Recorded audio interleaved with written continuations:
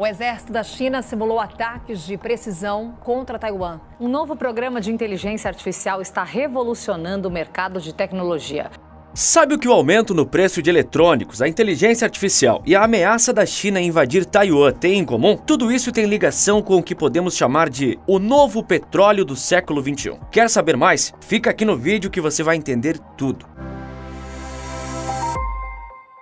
O petróleo tem sido motivo de disputas geopolíticas há tanto tempo que é até difícil de lembrar de tudo. Mas atualmente o tão disputado ouro negro pode ser substituído no mercado de valores por algo tão minúsculo que chega a ser menor que o diâmetro de um fio de cabelo. Estou falando dos chips e semicondutores. Os semicondutores são tipos de materiais capazes de conduzir correntes elétricas. Eles são a matéria-prima dos chips. Esses, por sua vez, são usados literalmente em todos os aparelhos eletrônicos ao nosso redor, de celulares e notebooks até máquinas máquinas de lavar e carros. A partir daí, você já consegue ver uma pontinha da importância desse produto para um mundo tão moderno como o nosso, né? Sendo responsável pela evolução tecnológica e pelo funcionamento de todos os eletrônicos, os chips são indispensáveis. A falta deles acarreta no atraso de desenvolvimento de tecnologias, aumento nos preços de aparelhos eletrônicos e, por consequência, dificulta o acesso a esses aparelhos. Para conseguirmos mensurar, hoje em dia temos carros que precisam de mais de 3 mil semicondutores para funcionar. Mas será que que essa dependência tecnológica é o suficiente para chamar os chips e semicondutores de novos petróleos do século?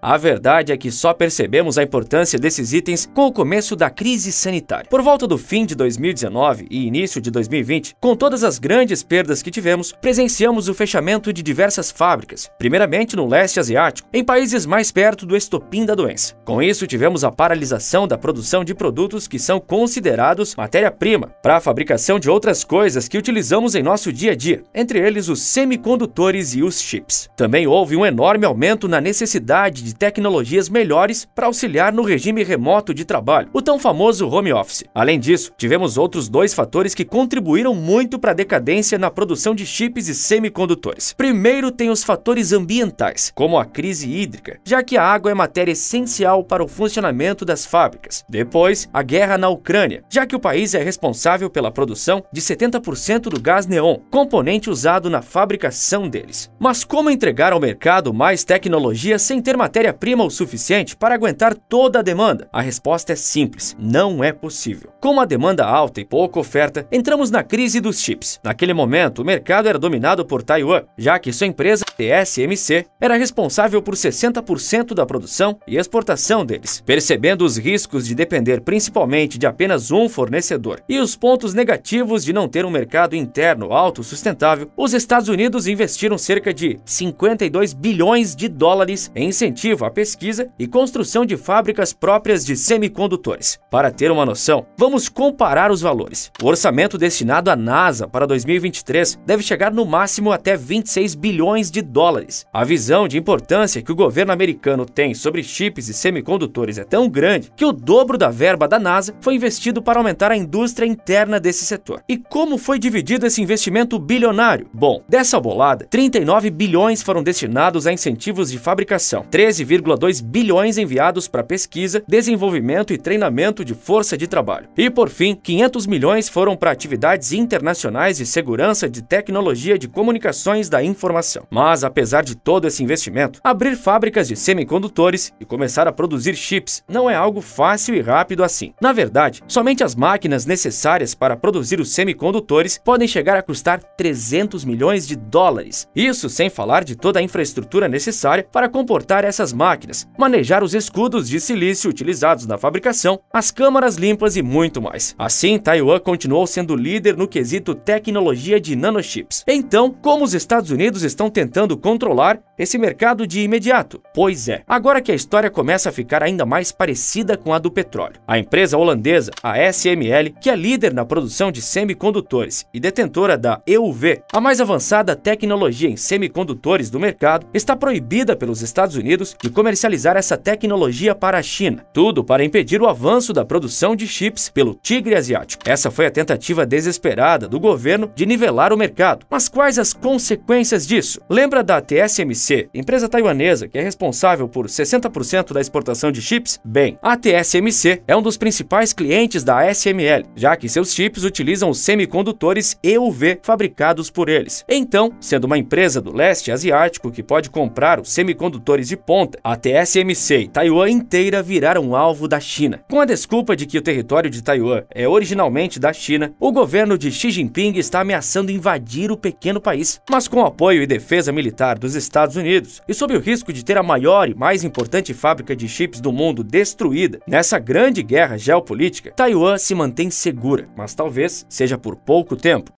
Ok, tivemos crise no mercado, descobrimos o quão dependentes somos de algo tão pequeno e tivemos disputas geopolíticas por algo literalmente minúsculo. Mas e atualmente? O que temos de novidades sobre o novo petróleo do século? Vamos começar pela holandesa ASML. A empresa continua líder no quesito semicondutores e detentora da tecnologia de ponta chamada de EUV. Suas restrições de exportação impostas pelos Estados Unidos para a China continuam dando trabalho ao tigre asiático e gerando cada vez mais desvantagem e intrigas. Ah, Lembrando que eu já fiz um vídeo inteiro focado nessa empresa e sua história. Quando terminar de assistir aqui, dá uma olhadinha no card da descrição, vou deixar o link do vídeo da ASML listado. A até então desconhecida gigante taiwanesa TSMC também continua inabalável mesmo sob as ameaças de invasão da China. Além disso, a fabricante está se preparando para entrar no hype da inteligência artificial. A nova aposta da empresa é utilizar as AIs para a produção de litografia de 2 nanômetros, que vai diminuir a emissão de carbono e melhorar significativamente a eficiência eficiência energética dos processadores. A produção em massa desse projeto está prevista para 2025. Bem, eu poderia falar de novo e de novo como essas empresas possuem a tecnologia do mundo em suas mãos, mas a verdade é que tivemos um plot twist. No último mês de maio, um novo nome surgiu no meio do jogo e causou uma grande virada no monopólio de Taiwan. Estou falando da Nvidia. Essa empresa americana foi fundada em 1993 na Califórnia. E se você gosta de jogos, assim como eu, deve ter escutado esse nome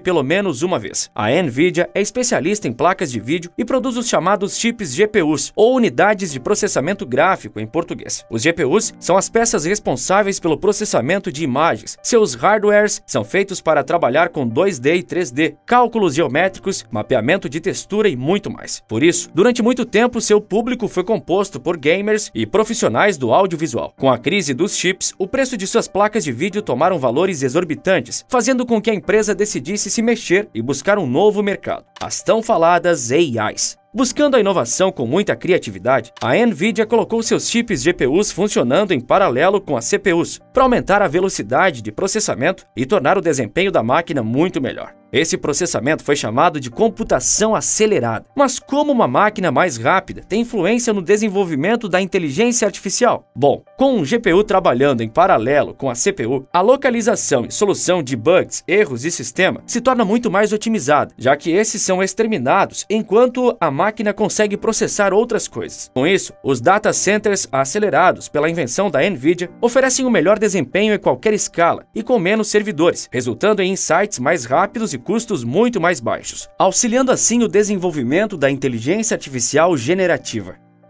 Então, foi surfando nessa onda das AIs que a empresa americana bateu nesse último mês de maio uma meta incrível e que parecia bem mais distante para uma empresa ocidental. Ela prevê um total de 11 bilhões de dólares em vendas apenas para o segundo semestre de 2024. Essa previsão resultou em um crescimento de 25% de seu valor de mercado e aproximou a Nvidia da marca de um trilhão de dólares, fazendo com que ela se tornasse a quinta empresa norte-americana listada na bolsa de valores. Isso é sem precedentes e foi considerada a sua melhor projeção de lucros de todo todos os tempos em Wall Street. A fabricante é a primeira empresa de chips que conseguiu esse feito. Para comparar com uma empresa do mesmo segmento, a TSMC tem o um valor de mercado em cerca de 535 bilhões de dólares. As ações da Nvidia estão custando mais de 400 dólares e, de acordo com as evoluções do mercado, ameaça superar a gigante Amazon. O hype da Nvidia está tão em alta e com uma concorrência tão acirrada no mundo dos investimentos que a empresa está valendo 218 vezes o que ela gera de lucro. Ou seja, se você investir nesse instante na Nvidia, pode levar cerca de 200 anos para trazer seu dinheiro de volta como acionista. Surreal, né? Mas esses números assombrosos também indicam históricos de quedas futuras, então vale a pena ficar de olho na bolsa de valores. Com essa explosão de uma empresa norte-americana, você deve estar se perguntando: onde ficamos nessa colocação? Infelizmente, o nosso país não tem uma colocação muito boa. Sendo bem sincero, não estamos nem no mais ou menos. O Brasil importa 90% dos chips e semicondutores que usamos. Isso pode explicar um pouco sobre os preços exorbitantes de carros, já que apesar de sermos a oitava maior indústria de automóveis, não produzimos e nem conseguimos importar uma matéria-prima para que os mesmos sejam fabricados. Apesar de possuir a única estatal de tecnologia que produz chips na América Latina, o governo anterior pretendia privatizar a empresa e subsidiar a entrada de companhias estrangeiras aqui no país. A CEITEC, ou Centro Nacional de Tecnologia Eletrônica Avançada, ainda não dá lucro e continua sobrevivendo através do Tesouro Nacional.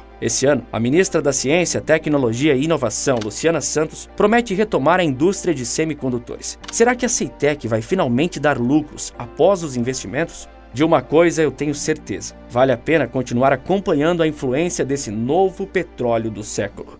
Ver mais sobre as empresas de chip e a situação tensa entre China e Taiwan? Eu separei esses vídeos aqui para você, com informações completas sobre esses tópicos. Por esse vídeo é isso. Um forte abraço e bons negócios!